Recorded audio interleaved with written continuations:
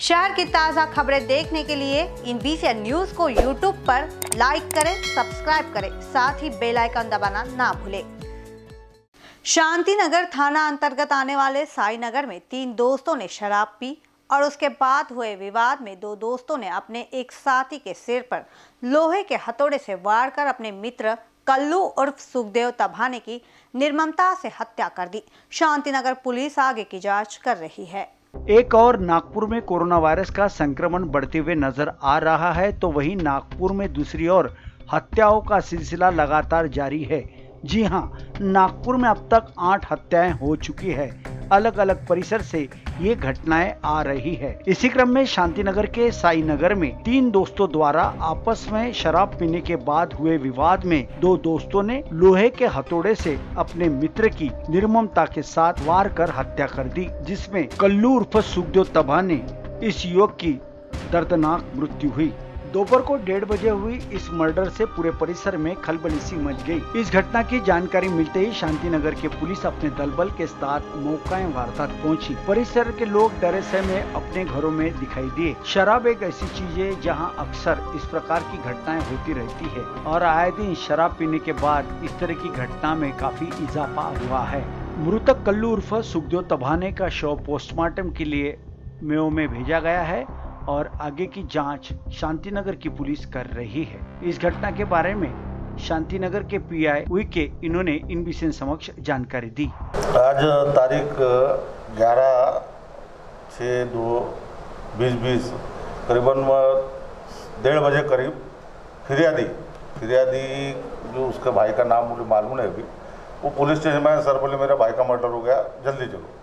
तो वैसा मैं मेरे स्टाफ को लेके घटना तक पहुँचा जो शाही नगर हनुमान मंदिर है, अपना शांति नगर की एसीपी ऑफ़िस के पीछे सामने वाला भाग है। वहाँ पे जब गया तो घटना स्थल पे एक डेड बॉडी पड़ी थी और उसका चेहरा कोई तो भी ऐसी हाथोड़े जैसे इससे चेहरे पे मारा था पूरा ब्लड ऐसा आजू बाजू ब्लड में उसका बिंदु भी गिरा था। तो फिर तुरंत हमने वहाँ से आयकार बुलाई।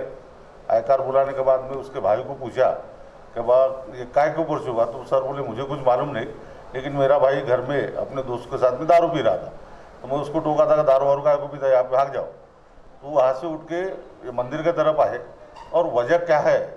तो अभी तक किसी ने ना उसके घर वालों को मालूम, ना अभी तक हमको भी अभी जब तक आरोपी मिलता नहीं, तब तक तो वजह उसकी क्या थी तो हम बता नहीं सकते। लेकिन वो दारू पीने खाने में उनका मर्डर हुआ है। आरोपी वैसा तो दो बताए, जो मृतक का भाई है, वो बताए एक कालू करके है, उसका ओरिजिनल नाम है दीपक किशनलाल सोनी, उर्फ़ काल्या उर्फ़ जलिया। और उसके साथ में एक दूसरा एक लड़का था तो वो फिर मृतक का भाई बोल रहा कि मैं उसको पहचानता नहीं। ऐसे दो आरोपी थे, ऐसा निष्पन्न हुआ है। तपास चालू है, मेरी डीबी टीम उसके लोकेशन पे वो जा गई है। जल्द से जल्द आरोपी हम गिरफ्त करेंगे। शराब पीने को लेकर हुई आपसी झगड़े में कई दो, एक दो दोस्तों ने अपने एक साथी को हथौड़े से मार कर मौत के घाट उतार दिया है। घटना स्थल पर शांतिनगर की पुलिस पहुँची है। आगे की तफ्तीश जारी है। मृतक को अस्पताल में पोस्टमार्टम के लिए भेजा गया है तो वहीं आरोपी फरार बताए जा रहे हैं। आरोपी बहुत जल्द गिरफ्त में होंगे, ऐसा यहाँ के पीआई के इन्होंने बताया है। अब देखना यह होगा कि कितने जल्द आरोपी को गिरफ़्तार किया जाता है और इस घटना का, आखिरकार यह घटना क्यों हुई, इसकी तफ्तीश पुलिस कर रही है। शांतिनगर पुलिस थाने से कैमरा पर्सन वीरेंद्र खोबरागढ़े के साथ संजय मीरे इन न्यूज़, नागपुर।